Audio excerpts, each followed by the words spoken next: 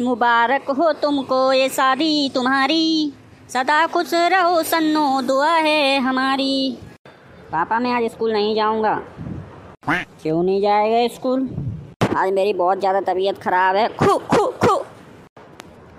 ऐसे कैसे नहीं जाएगा स्कूल? स्कूल तो तेरा बाप भी जाएगा। मेरे बाप तो आप ही हो, आप ही चले जाओ। अब जवान लड़ाओगे तुम मुझसे। मैं तुमसे क्यों जवान लड़ाऊँगा? आप तो मम्मी से लड़ाते हो जवान। पप्पू पापा से ऐसे बात करते हैं। सही तो कहा आप दोनों रोज जवान लड़ाते हो रात में। ये तुम ही ने बिगाड़ा है इसको दिन भर सोता रहता है और तुम कुछ नहीं कहते हो इसको। मम्मी ये पापा तो बर्मा आंटी से भी जवान लड़ाते हैं। अच्छा बर्मा आंटी से कब जवान लड़ाते हैं? कल मम्मी जब आप सब्ज़ी लेने गई थी तो पापा और बर्मा आंटी मुँह में मुँह डालकर ज़ुबान लड़ा रहे थे। इसीलिए मैं सोचूं कि बर्मा जी के पास तुम्हारी अंडरवियर कहाँ से गई? तुमने कहाँ से देख ली? मेरी बर्मा जी के पास अंडरवियर तुम भी? नहीं, पापा, जब आप ऑफ़िस जाते हो तो मम्मी रोज बर्मा अंकल के यहाँ जाती हैं, उनसे जबान लड़ाना सीखती हैं। तभी मैं सोचूं तुम्हारे मुँह में से प्याज की स्मेल कहाँ से आती है?